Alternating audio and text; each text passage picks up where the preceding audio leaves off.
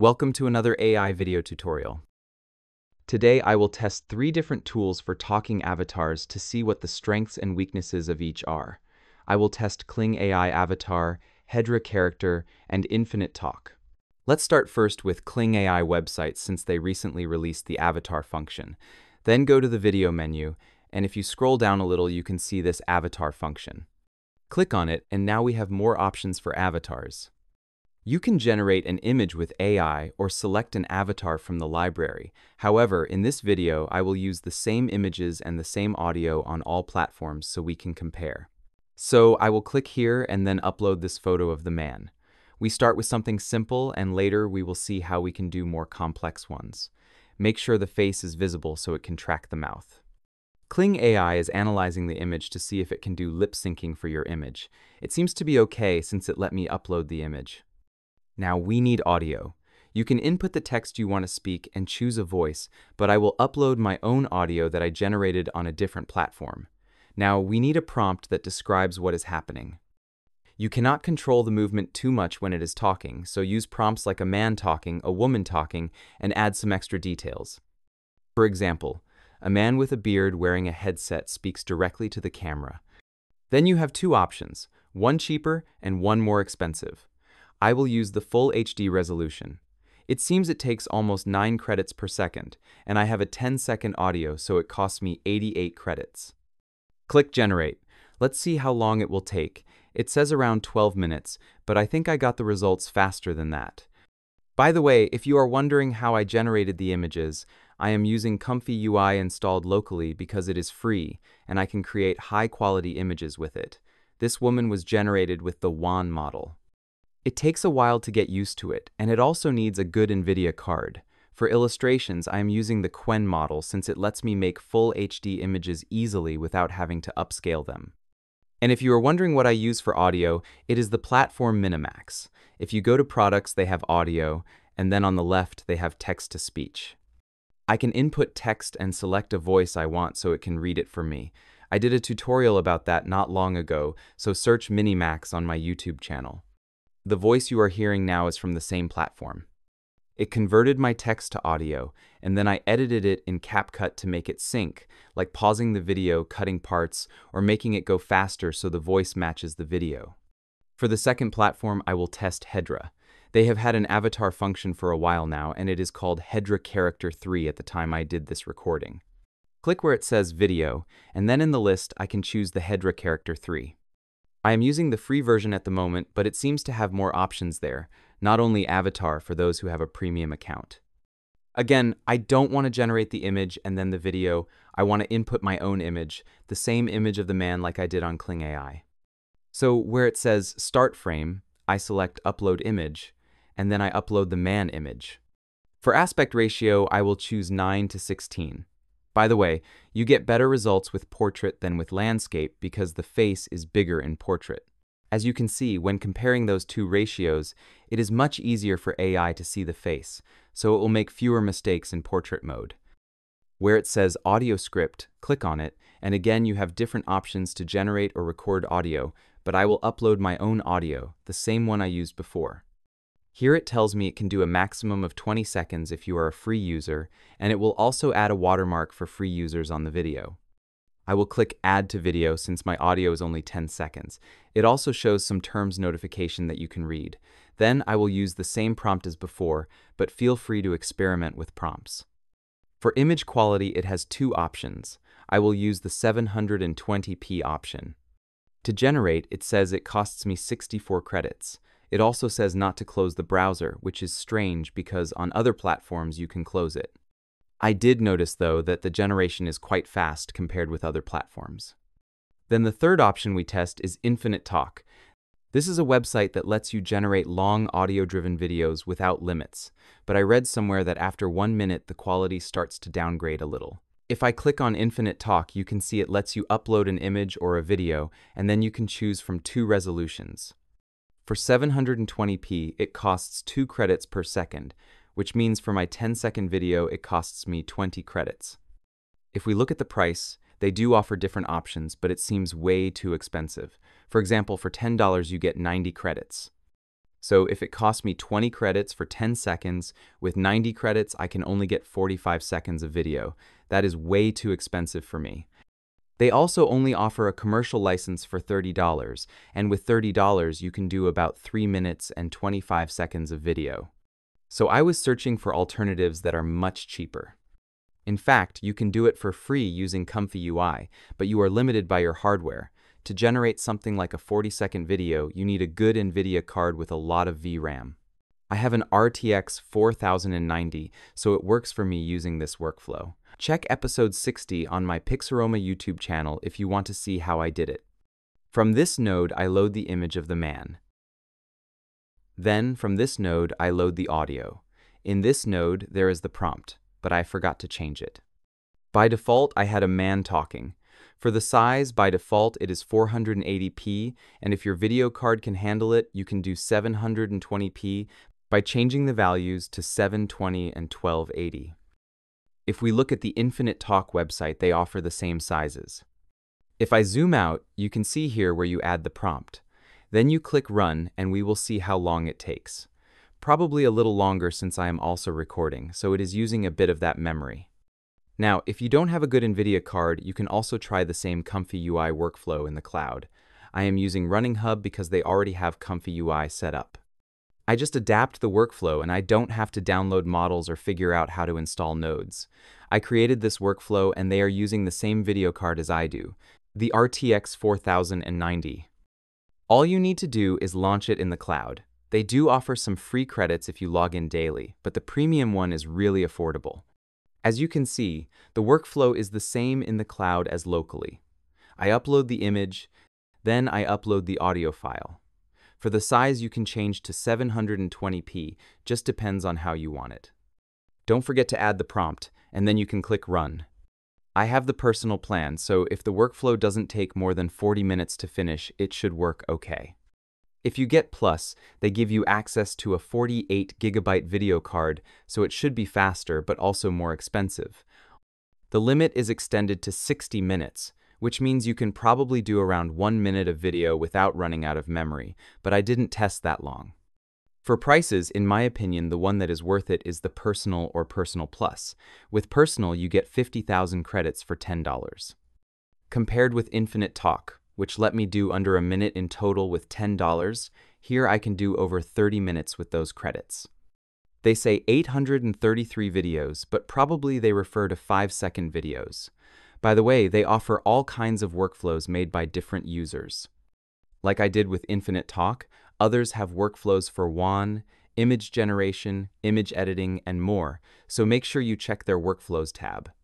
For Kling, with the standard plan, you can do about 1 minute and 15 seconds, so it is a tiny bit cheaper than Infinite Talk, but still way more expensive than running Hub. I have the Pro version since I like their 2.1 model for image to video.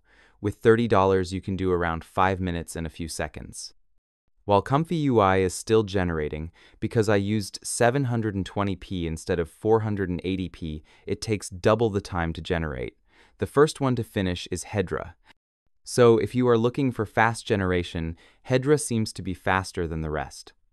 I had free credits collected over a few months, so let's check how much their plans cost. It seems that for $10 you get about 1,000 credits, which is around 2 minutes and 30 seconds of video in total, but do the math to make sure. For the price, it seems a little cheaper than Kling and Infinite Talk. Let's go to history to see what we got. As you can see, I get a big watermark on the free version. Let's click here to download it. You can upgrade to remove the watermark, but I just download it as it is since this is only for testing. Right after that, Kling AI finished also. So for speed, Kling AI is second place after Hedra. I have Premium so I can download without watermark. On Running Hub, it is still generating, and on local Comfy UI, it is also still generating. If you want it faster, you can do 480p instead of 720p like I showed you. Don't forget to add the prompt. I had a man talking by default, so it is fine. A few minutes later, it finished on Running Hub. It took 15 minutes and 44 seconds and under 200 credits to generate, and I have 50,000 credits per month. You can download it from here. It just finished for Comfy UI as well. If I don't have the recorder running, it is usually a bit faster than running Hub. It took me 18 minutes and 28 seconds for a 10 second video at 720p resolution. You can find the video in the output folder or right click on video and save it from there. Now that we have all the videos, let's compare. Hedra does a maximum of 720 resolution. Not sure why it changed the ratio a bit. It says 1278 instead of 1280, which was the size of the image, so it lost 2 pixels. For Kling AI, we have Full HD, so 1080 resolution, the biggest size compared with the others. Running Hub, like the rest, can do 720, and the same with Comfy UI if you have a good video card. So let's play each of the videos to see the results. Today we're going to look at how easy it is to use this new tool. I'll walk you through the steps, explain what each part does, and show you how it works in practice. Are you ready? Today we're going to look at how easy it is to use this new tool. I'll walk you through the steps, explain what each part does, and show you how it works in practice. Are you ready? Today we're going to look at how easy it is to use this new tool. I'll walk you through the steps, explain what each part does, and show you how it works in practice. Are you ready? If we compare all three, my favorites are Kling AI and Running Hub. Kling AI can do the biggest resolution. If we compare the quality of the video for realism, Hedra seems to have the lowest quality, with some artifacts and blurriness. If we speak about movement, Hedra and Infinite Talk have nice movement, with more motion compared to Kling AI, which doesn't move that much. If we compare the lip sync, Hedra seems a little bit off, like some movements are not in sync, so my conclusion is that for accuracy, Hedra is not so good. If you want realism, go with Kling AI or Infinite Talk, and if you want more movement and more accurate lip sync, go with Infinite Talk. If you are a beginner and want something user-friendly, and you have enough money, go with Kling AI or with Infinite Talk website instead. Let's try a different project, 3D animation style, to see if things are different in this case. For my homework, I learned about talking avatars. They are digital characters that can speak, listen, almost like a real person. I think they're really fun and could make learning much easier and more exciting. For my homework, I learned about talking avatars. They are digital characters that can speak, listen, almost like a real person. I think they're really fun and could make learning much easier and more exciting. For my homework, I learned about talking avatars. They are digital characters that can speak, listen, almost like a real person. I think they're really fun and could make learning much easier and more exciting. For animation, all did a nice job. Hedra did a better job than with real people, but the quality of the image is the lowest compared with the other two. It looks more like 480p than 720p, not sure why. When it comes to motion, Kling AI seems to have the least movement. I mean, it moves, but not as much as the others, so they could improve the model in that part. Let's see if it can do an animal character. I tried a goat character, and as long as it has a mouth and eyes so it can detect a face, it should probably be able to do some animation. I am a brave guardian of the valley, sworn to protect my friends from any danger. With my spear and shield, I'm always ready to stand strong and defend what matters most. I am a brave guardian of the valley, sworn to protect my friends from any danger. With my spear and shield, I'm always ready to stand strong and defend what matters most. I am a brave guardian of the valley, sworn to protect my friends from any danger. With my spear and shield, I'm always ready to stand strong and defend what matters most. Once again, Kling AI and Infinite Talk did a great job, and Hedra again had the lip sync a little bit off, and the quality of the video is not as good. It is interesting how each platform did the teeth a little bit differently. One thing I noticed is that Kling AI tends to smooth the texture a little. I mean, at Full HD, I expected more texture, but sometimes I get more texture on Infinite Talk at HD quality, and it should be the reverse. And for the last project, let's try to do a woman singing.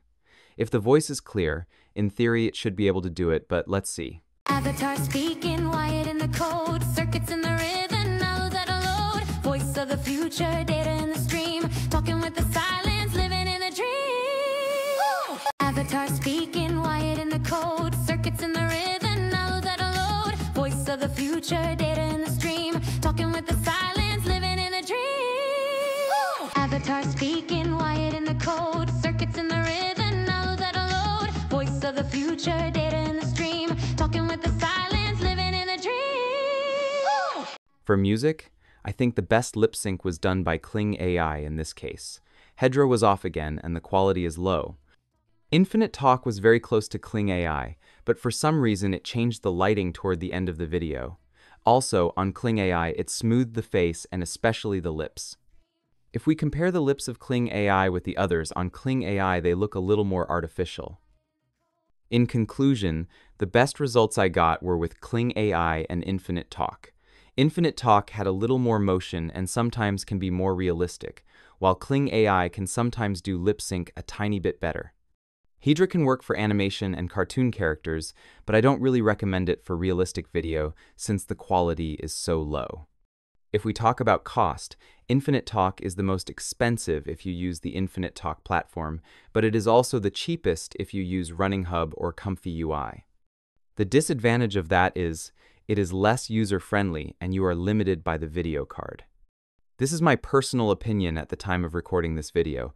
AI advances very fast, so in a month any other platform could release better tools and things might change. Until then, I will use Comfy UI when I am at the PC with Infinite Talk, Running Hub when I am on the laptop and don't have a good video card, and Kling AI on mobile or when I want something faster and easier to use. If you found something useful, leave a like and a comment to help with the YouTube algorithm. Thank you AI Titans and everyone who subscribed to the membership and keeps this channel going. I wish you a great day and I will see you on Discord.